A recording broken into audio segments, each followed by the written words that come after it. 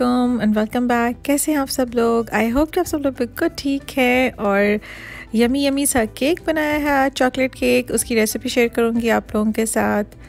और यहाँ पर जो है मैंने एक बाउल लिया है, उसमें मैं डाल रही हूँ almost one and half cup of maida all purpose flour और साथ ही इसमें मैं डालूँगी almost half cup cocoa powder मैंने हर चीज़ का लिया है, आपके पास जो भी अवेलेबल है, आप वो ले सकते हैं।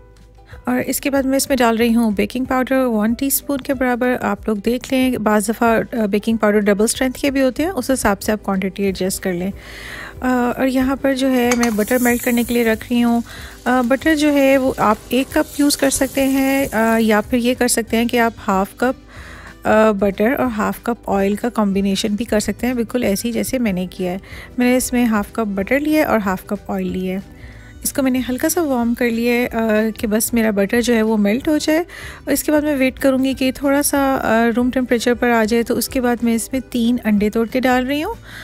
जो आपके एग्स हैं, वो रूम टेम्परेचर पे होने चाहिए। आपने फ्रिज से निकालते साथ नहीं डालना। छोटी छोटी चीज़ों के साथ जो है वो बहुत फ़र्क पड़ता है। तो बस इसको मैंने जो है फोक के साथ बीट कर लिया है। अच्छा मैं इस रेसिपी के बारे में ये बताना चाहती हूँ कि ये रेसिपी बिल्कुल भी किसी बीटर की मोहताज नहीं है। आप इसको अपने घर में फ़ोक की मदद से भी बना सकते हैं। बिल्कुल इजी और हैंडी है। समटाइम्स लोगों के पास चीज़ें नहीं होती तो वो उस चक्कर में जो है वो बैठे रहते हैं और बनाते नहीं हैं। बैठना और आपने इस रेसिपी को जल्दी से बना लेना है। यहाँ पर गया है वन टीस्पून के बराबर वनीला एसेंस और मैंने वन एंड हाफ़ कप के बराबर इसमें शुगर डाली है। इसको बस अच्छे से हमने मिक्स कर लेना है। इसके बाद मैं इसमें हाफ़ टी स्पून जो है बेकिंग सोडा डाल रही हूँ और बेकिंग सोडा भी आपने मेक श्योर करना है कि आपका एक्सपायर नहीं है क्योंकि ये वन मंथ के अंदर अंदर खुलने के बाद एक्सपायर हो जाता है। Uh, इसके बाद जो है मेरा एग्स और बटर ऑयल का मिक्सचर इसमें जा रहा है। इसको मैं ग्रेजुअली ऐड कर रही हूँ। मैं इसको विस्क की मदद से जो है मिक्स कर रही हूँ। आप इसको सिंपली फोक की मदद से भी कर सकते हैं। तो आज हम लोगों ने कोई भी बहाना नहीं छोड़ना कि हम लोग इसको ना बना सकें। तो बस इसको मैं अब अच्छे से आहिस्ता आहिस्ता से मिक्स कर लूँ। और साथ में इसमें जाएगा थोड़ा सा पानी आ, पानी की मैंने मेज़रमेंट आपको लिखती है थ्री थ्री फोर्थ कप के बराबर। आपने इसको ग्रेजुअली ऐड करना है जब तक इसकी रिबन जैसी कंसिस्टेंसी फॉर्म नहीं हो जाती। पानी का कलर आपको थोड़ा डिफरेंट इसलिए लग रहा होगा क्योंकि मैंने जिस मेयरिंग कप में ऑयल मैयर किया था मैंने उसी में पानी डाल के तो इसमें डाला है। ठीक है ये देखें इतने अच्छे से रिबन्स इसके जैसे फॉर्म होना शुरू हो गए हैं तो यहाँ पे हमारा बैटर बिल्कुल रेडी है। और इसके बाद जो है वो हम अपना केक पैन रेडी करेंगे।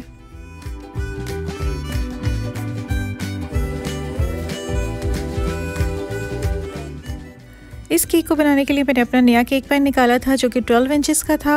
और, लेकिन जो मेज़रमेंट मैंने आपको सारी चीज़ों की दी है क्वांटिटीज़ वो जो है वो 9 इंच पैन के लिए बिल्कुल आइडियल और परफेक्ट है। मेरा केक पैन थोड़ा सा बड़ा हो गया था, इसके लिए मैंने इसको ऑयल कर लिया है और इसके बाद मैंने इसमें बटर पेपर डाल दिया अगर आपके पास बटर पेपर नहीं है तो आप खाली ऑयल भी कर सकते हैं और और भी इसे सिक्योर करना चाहते हैं तो आप थोड़ा सा मैदा इसमें स्प्रिंकल करके आफ्टर ऑयलिंग उसको शेक कर लें अच्छे से, ताकि वो उसके ऊपर हल्का सा कोट हो जाए और बाकी जो है आपने डस्ट ऑफ़ कर देना है।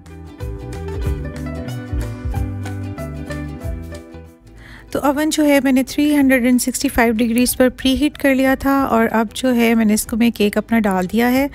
आ, मेरा केक जो है वो 35 मिनट्स में बिल्कुल रेडी हो गया था और उसकी वजह यही थी कि मेरा केक पैन बड़ा था और मेरा बैटर कम था। आ, आप लोगों के पास अगर 9 इंच का केक पैन है तो आप उसके हिसाब से देख लें। ऑब्वियसली 30 मिनट्स के बाद हम वैसे भी एक दफ़ा जो है वो उसको चेक कर लेते हैं थोड़ा सा। बार बार खोल के नहीं देखना अदरवाइज़ आपका केक अच्छे से भूलेगा नहीं। यहाँ पर जो है मेरा केक मैंने स्क्वायर की मदद से देख लिया था तो मेरा 35 मिनट्स में डन हो गया। इसको निकाल के मैंने बाहर काउंटर पर रख दिया ठंडा होने के लिए, और जब ये ठंडा हो जाएगा तो फिर हम इसको निकाल लेंगे और ये देखें इसके ये नीचे से भी बिल्कुल ऐसे बना जैसे ऊपर से बनता है, कोई डिफरेंस लग ही नहीं रहा। तो ये रेसिपी बहुत ही अच्छी है, आप इसे ज़रूर बनाइएगा। पर जो है, अब मैं गनाश की तैयारी करने लगी हूँ, जो कि फ्रॉस्टिंग है। इसके लिए मैंने वन कप चॉकलेट चिप्स ले लिए हैं और आप इसके साथ वन कप क्रीम डालेंगे। अगर आपके पास चॉकलेट चिप्स नहीं है और क्रीम नहीं है तो आप इस रेसिपी को कोको पाउडर और प्लेन मिल्क के साथ भी सब्सिट्यूट कर सकते हैं। इसके साथ ही मैं इसमें वन टेबल स्पून के बराबर बटर डालने लगी हूँ। बटर ऑप्शनल है। मैं बटर इसलिए डालती हूँ कि उससे थोड़ी सी रिचनेस आ जाती है और ये कि बड़ा अच्छा सा ग्लॉस आ जाता है आपकी गनाश पे। इसको मैंने माइक्रोवेव कर लिया है टू मिनट्स के लिए। ये आपको देखने में मेल्टेड नहीं लग रहा, लेकिन वो अंदर से सॉफ्ट हो गया सारा और गर्म हो गया। मैं इसको जैसे जैसे मिक्स करती जाऊँगी तो ये बिल्कुल इसके अंदर जो है ना, वो अच्छे से मेल्ट हो जाएगा। ये फ्रॉस्टिंग जो है ये इट्सल्फ बहुत मज़े की है और इसके बाद हमें किसी और चीज़ की ज़रूरत नहीं है लेकिन ये कि हमने थोड़ा सा शशका और किया है। अच्छा आ, मैंने जो चॉकलेट चिप्स यूज़ किए थे वो सेमी स्वीट थे तो अगर आप कोको पाउडर के साथ बना रहे हैं तो आप इसमें आ, शुगर भी ऐड कर सकते हैं। बनाने के टाइम पे आप इसको स्टोव टॉप के ऊपर भी बना सकते हैं। आप डायरेक्टली पैन में बनाएँ या आप किसी बाउल को बॉइलिंग वाटर के पैन के ऊपर रखें और फिर उसके अंदर ये चीज़ें मेल्ट कर लें। लेकिन आपका जो बाउल है वो पानी के साथ टच नहीं करना चाहिए। यानी कि पानी की सरफेस जो है वो नीचे होनी चाहिए। अच्छा जी, अब यहाँ पर मैं क्या करने लगी हूँ कि मैंने ऑलमोस्ट 300 हंड्रेड या डेढ़ कप के करीब जो है वो मैंने हैवी विपिंग क्रीम ली है। और बीटर के बग़ैर मैं इसको अब विप करने वाली हूँ। थोड़ी सी हमारी एक्सरसाइज होगी। यहाँ पर जो है मीरम और मैं हम दोनों जो है वो बारी बारी इसको कर रहे थे बीट और पंद्रह मिनट के अंदर अंदर जो है वो हमारी काफ़ी अच्छी जो है इसकी सॉफ्ट पीक्स फॉर्म हो गई थी। मैं कर लूँ?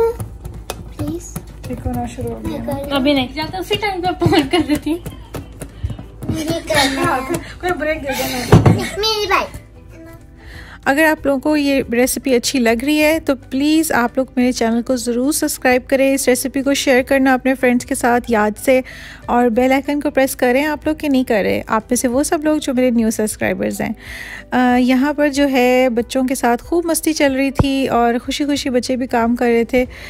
यहाँ पर मैंने क्रीम के अंदर हाफ़ कप के बराबर शुगर इसमें डाल दी है। आपने इसको जेंटली फोल्ड करना है और अब इसको जो है हमने बहुत ज़्यादा इसकी फेंटी नहीं लगानी बिल्कुल भी। तो यहाँ पे ये बड़ी अच्छी सी फॉर्म हो गई है ये ऑलमोस्ट डन है इस स्टेज के ऊपर, इसको थोड़ा सा बस और बीट करके तो बस फिर हम जो है इसको अपनी फ्रॉस्टिंग को गनाश के साथ मिक्स करेंगे और फिर हम लगाएँगे। आ, मेरे बच्चे किचन में को बहुत ज़्यादा नहीं शौक से आते। आ, मीरम को बहुत शौक है बेकिंग का लेकिन मेरी छोटी बेटी बिल्कुल किचन में नहीं आती। लेकिन ये कि आपको पता है फ्रॉस्टिंग बन रही हो तो कौन सा बच्चा है जो पीछे रहेगा? तो हम भी शायद छोटे होते ऐसे ही करते थे कि हमें लिक करनी होती थी तो मैंने उसको बीटर दे दिया है कि आप इसको इन्जॉय करो। यहाँ पर जो है मैं फ्रॉस्टिंग बना रही हूँ। जिमल मुझे बहुत तंग कर रही थी कि ममा मैं सब कुछ मैं ख़ुद करूँगी। और मैंने उसे बोला कि नहीं मैं आपसे थोड़ी सी हेल्प लूँगी। और फिर जो है मैंने उसको स्टार्ट करने दिया कि बस वो जो है, वो लगाए और बच्चों, बच्चे इस चीज़ से बहुत खुश होते हैं और इन्जॉय भी करते हैं। सिमल को इतना शौक़ नहीं है बेकिंग का, लेकिन मीरम जो है, वो बहुत छोटी जब से मेरे साथ खड़ी होती थी किचन में और इसीलिए उसको बेकिंग का भी बहुत शौक़ है। जिमल का नहीं है, हर बच्चे का अपना होता है। खैर, यहाँ पर जो है, वो मेरे दोनों बच्चों ने फ्रॉस्टिंग में अपना हिस्सा डाल लिया था बारी बारी तो उसके बाद बस मैंने इसको थोड़ा सा स्मूथ आउट किया है सिंपली स्लेदर किया है। अगर आप इसमें गनाश थोड़ा ज़्यादा डालेंगे तो उसका कलर डार्क हो जाएगा। तो गनाश हमने इतनी बनाई है कि ये बहुत डार्क रिच ब्राउन कलर तक जा सकता है। लेकिन मैंने अपनी गनाश जो है, वो थोड़ी बचा के रखी है, क्योंकि मैं इस किस्म का कलर चाह रही थी और थोड़ा सा जो है वो बस मैं इसके ऊपर डेकोरेशन के लिए यूज़ करूँगी। अब इस स्टेज के ऊपर आप के पास घर में कुछ भी अवेलेबल है, कोई बिस्किट्स हैं, चॉकलेट्स है, कोई कैंडी है, आपने इसे अपने हिसाब से क्रिएटिविटी दिखानी है क्योंकि एक होममेड केक है, इसको हमने किसी कंपटीशन में नहीं रखना तो आप इसको जैसे मर्ज़ी दिल करें, डेकोरेट करें, आप चाहें तो इसमें आर्टिफिशियल चीज़ें भी रख सकते हैं क्योंकि उसको हटा के हमने केक खाना ही है।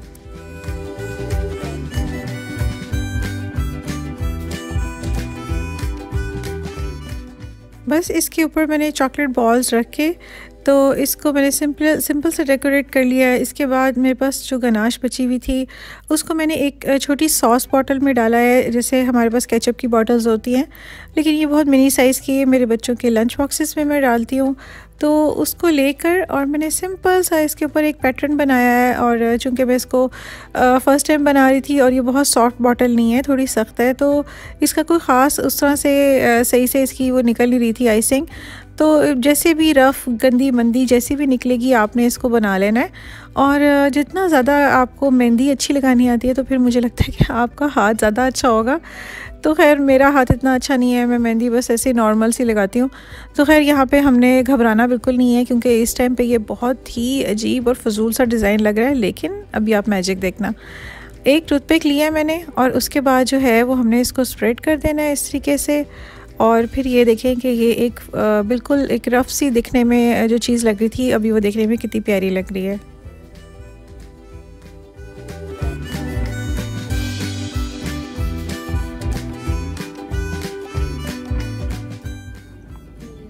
Happy birthday to me. Happy birthday to me. Happy birthday Wow, that's to soft. nobody. Cause all the birthday we just take the cake to the sun. Happy birthday to nobody.